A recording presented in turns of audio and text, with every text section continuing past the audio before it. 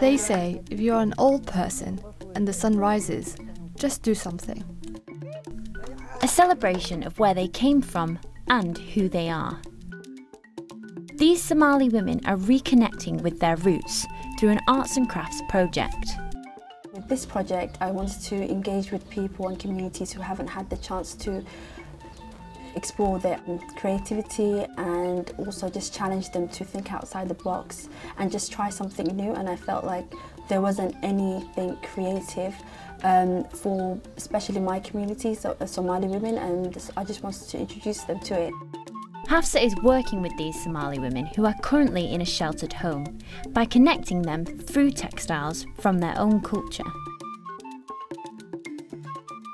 I like to make things whether it's this or any other cultural and traditional crafts, but my hands are really hurting. I really like to do things with the women and not just sit down. Despite breaking her hands, Mariam is using Hafza's workshops to continue a passion she once had. This, this, this, this, and this one. I made them all. This one behind me is used to build around the house, and those ones are used to build around like this wall. The creations are a modern twist on the materials the women used back home. This is handcraft, it's something new. Hafza is teaching something about what we didn't know before. It added value, we pass time with it. We have a chat, so when we come together and we get busy with it, then yes, it adds something to our lives.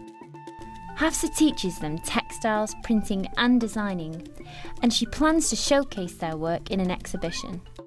I was just giving them the opportunity to reconnect with who they used to be and I, I, do think that sometimes we do lose that and a lot of these women they're over 60 years old and they have incredible stories and incredible lives and I just wanted this workshop for uh, to be a way of them expressing themselves and this, tell their own stories and take, take control. Gem O'Reilly, BBC London.